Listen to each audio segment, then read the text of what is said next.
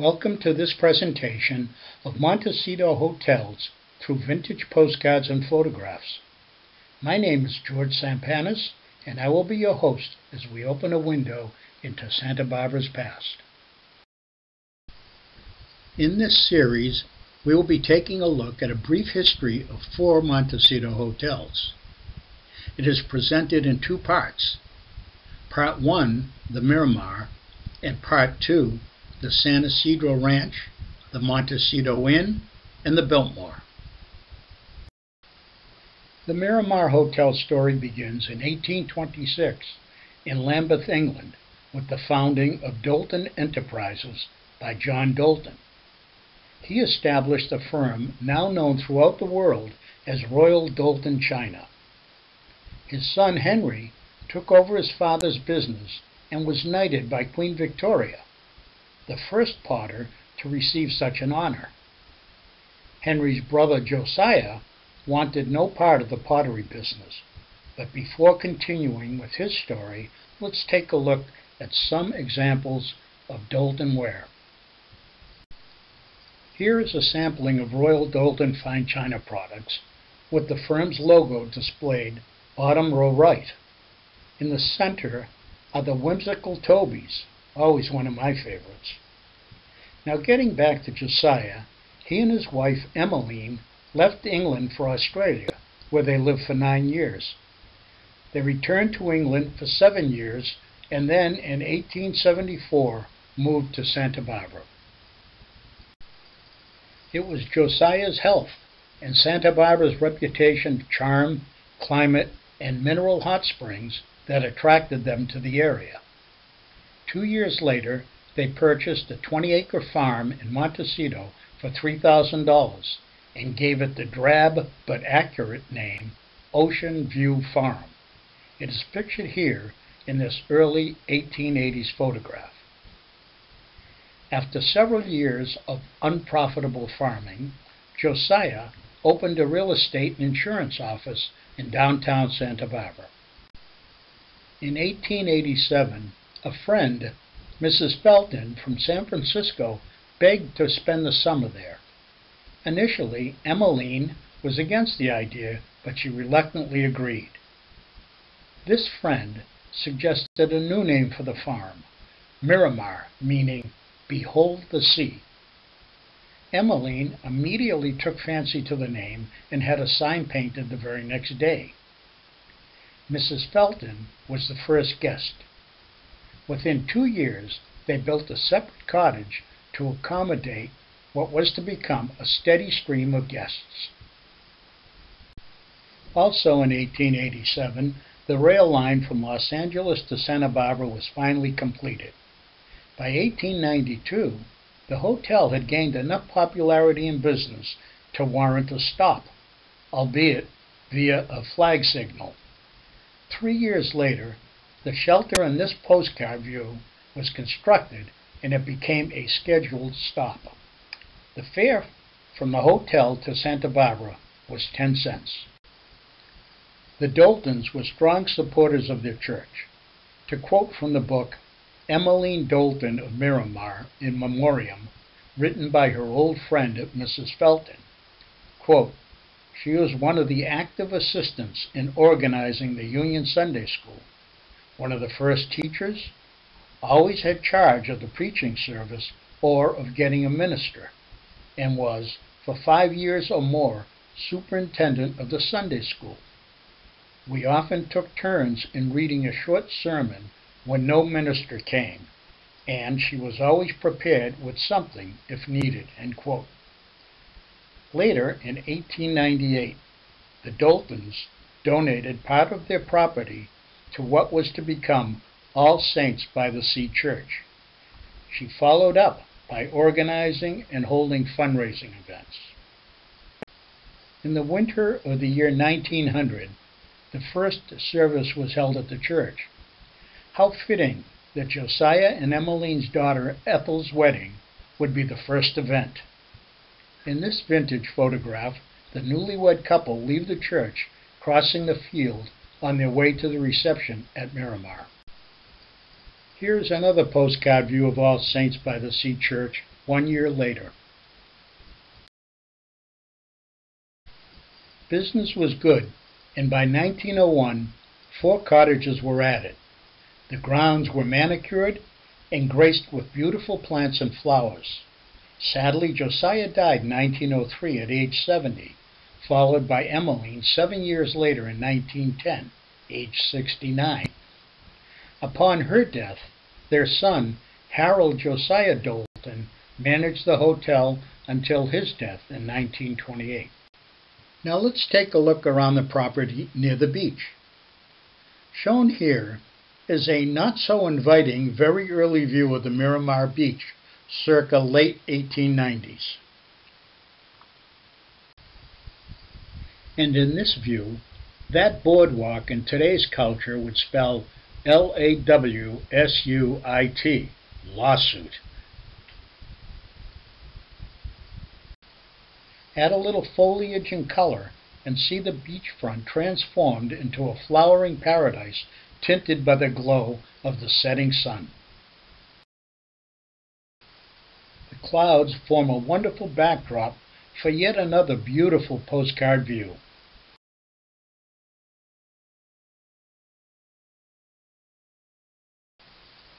The message on this postcard reads, There is to be a swell affair given here this week for the fleet officers, referring to the Great White Fleet's visit to Santa Barbara in 1910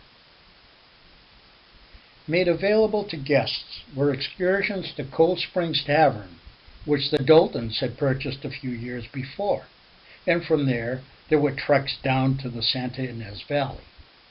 The Cold Springs Tavern was sold to the Ovington family in 1941, just before our entrance into World War II. In this layout of the Miramar property dated 1904, we see the main building with nearly a dozen bungalows. Subsequent slides will show details of these cottages and their beautiful flowering surroundings, but for now, let us look at some of the other highlights and features of the grounds. First, at the top, note the street name, Coastline Road. Next, the entrance upper left leading down to the main house and dining room. In the lower left are the tennis courts. And on the far right, the carriage house, horse stalls, and stables. Below and on the other side of the tracks are the chicken and pigeon coops. And at the far left bottom, the bathhouse. The location of the railroad tracks leads me to this story. In 1887, as the Southern Pacific Railway was expanding north to Santa Barbara, the railroad's plan was to have the tracks running right through what was then Josiah's barley field. He fought hard and long to have them realign the tracks close to the ocean because he believed that was the least useful of his land. The entrance of the hotel property from what was then Coastline Road. the road leading down to the main house. This is one of my favorite postcard views. I love the jalopy.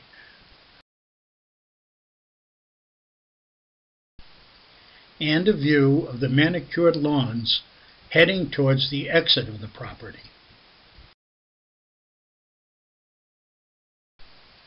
In a passage from David Myrick's book, Montecito and Santa Barbara, Volume 1, I quote, Stories of unusual events at the Miramar have become part of Montecito folklore, and one story is linked with the pioneer days of the Lockheed aircraft. The Lockheed brothers had a small aircraft factory near the foot of State Street and took passengers for short rides in their seaplane. The charge was modest, but the additional income was important to the survival of the company. One hydroplane landed slowly on the water by Miramar on Sunday morning, August 27, 1916, and commanded the attention of the 200 people on the beach. Just before the plane settled down on the water, two figures dressed in bathing suits climbed out of the plane and created much excitement when they dove in the water.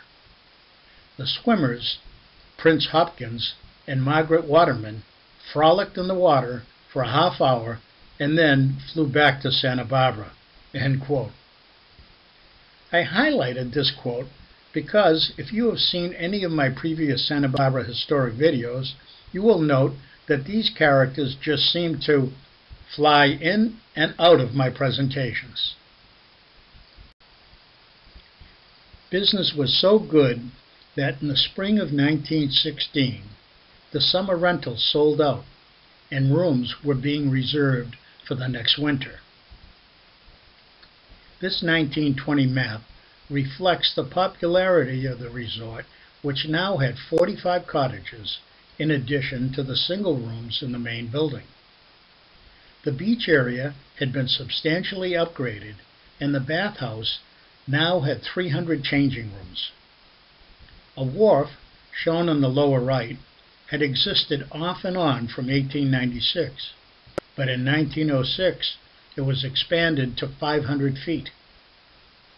Besides its use for strolling, fishing, and boating, it allowed access to those arriving in their yachts anchored offshore who could motor to the wharf in the tender.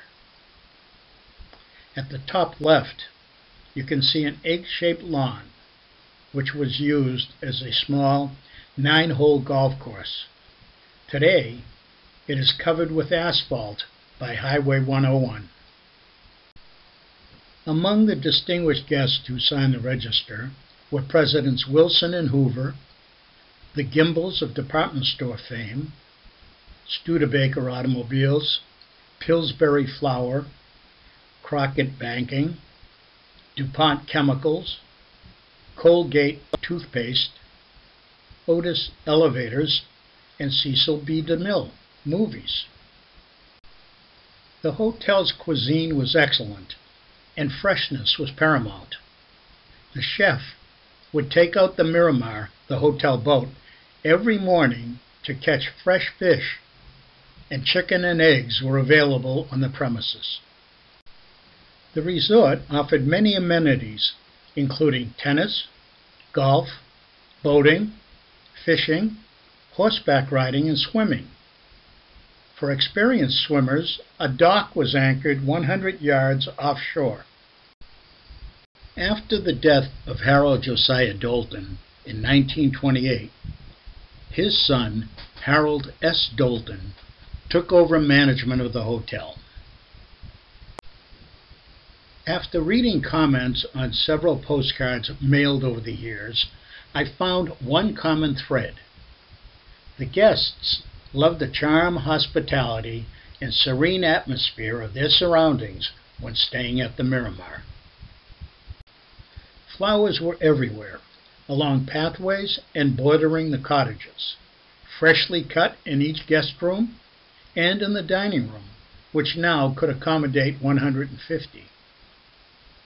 A special treat for those who arrived by train, they were greeted by a shower of geranium petals now let's just sit back and enjoy the scenery through the following postcard views.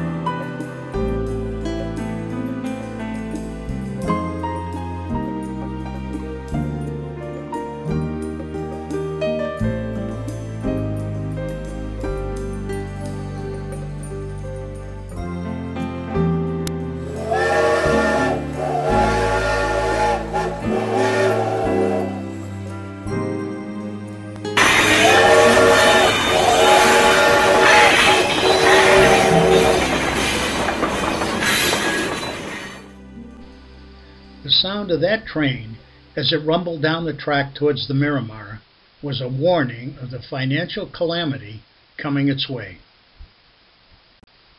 Unfortunately, the 1930s depression and several other factors caused the hotel to run into financially difficult times. Adding to Doulton's financial problems was something he had no control over. The breakwater, which had obvious benefits and advantages to many, affected the Miramar in a negative way. The lateral drift caused by the breakwater gradually removed the beautiful white sand from the lovely beach. In 1937, Doulton filed a lawsuit against the city of Santa Barbara. After several years of denials and appeals, a final denial was issued in 1943, long after the hotel had changed hands. Two years later, in 1939, the bank foreclosed on the property and sold the resort to the Gawzner family for $60,000. In 1942, Gawzner hired Grover Cleveland Barnes, whose friendly smile and mild manner endeared Miramar guests and patrons for the next 39 years. Cheryl Crabtree, writing for the Montecito magazine in 2000, quoted Grover. Starting in 1952, food and drink was delivered to the cottages by bicycle. Bellmen balanced the trays in one hand or on their heads. The more adept entertain the guests by riding with their arms folded or riding backwards. He also recalls that in addition to the scores of honeymooners, the Miramar appealed to such Hollywood luminaries as Bob Hope, Bing Crosby, Duke Ellington, B.B. King, Redd Foxx, and Bobby Kennedy. She continues, in the early 1950s, room rates started at $2.50. In the restaurant, lunches started at 60 cents, dinners at 85 cents, and Sunday dinners started at $1. Raging inflation by 1964 had pushed the room rates way up. The cost of a cottage ranged from 7 to $18, and a new oceanfront motel room set one back a whopping $24. End quote. In my interview with the gracious and charming Sally Hall, wife of the late Reverend George Hall, pastor of All Saints by the Sea, and neighbor to the Miramar, she told me this story. On hot days, my children would sneak over to the Miramar swimming pool area in the hopes of taking a refreshing dip. When seen by Grover, he would say, I don't see you children now, but I will see you in 15 minutes, thus underhandedly giving them the okay to use the pool. Grover, who passed away in 2010, lived to the ripe old age of 104. His life's journey is most worthy of another story at another time. During World War II, the United States government requisitioned the Miramar and used it as a rest, rehabilitation, recreation, and reassignment center for soldiers returning from the front. Sally Hall also told me about this interesting occurrence that happened there. Her sisters would go to the beach often. One day, while lying on the sand, they were approached by two soldiers who engaged them in conversation. One thing led to another, and the soldiers invited the girls to the movies. Her sisters, being proper young ladies, suggested they come to their home to meet their parents, which they did. One of the soldiers was Jack Kennedy, which at the time meant nothing to the girls. One was to become President of the United States, the other's name is lost to obscurity. After the war, Paul Gawzner made several bold changes to the hotel. The main building was moved closer to the highway, and several new cottages were added. He put in a freshwater swimming pool, and the wharf, which was first built in the 1890s, was completely removed. All the structures were repainted from the earthy brown on the outside to white both inside and out. The roofs were changed to a bright blue, which was an eye catcher from the highway. This matchbook advertisement reads, An all-year resort set on 21 subtropical acres by the sea. Private, sandy ocean beach, swimming pool, tennis court, nearby 18-hole country club golf course. Free parking near all rooms many suites and rooms with kitchenettes and television, dining room and cocktail lounge. Accommodations for 400 guests, European plan by day, week, or month. Facilities for conventions and sales meetings. Quite a change from Emmeline's Miramar with a handful of cottages and tents set upon wooden platforms. Gawzner started another major expansion. He added more tennis courts and a second swimming pool. This postcard view and the two following show the entrance after the repositioning of the main building and will help orient us to the move. There would be more changes forthcoming after the redirecting of Highway 101 A view north. Just love those vintage automobiles. I believe we're looking at two Ford Coupes, a 39 and a 46. To the far right is either a 49 Buick or Pontiac.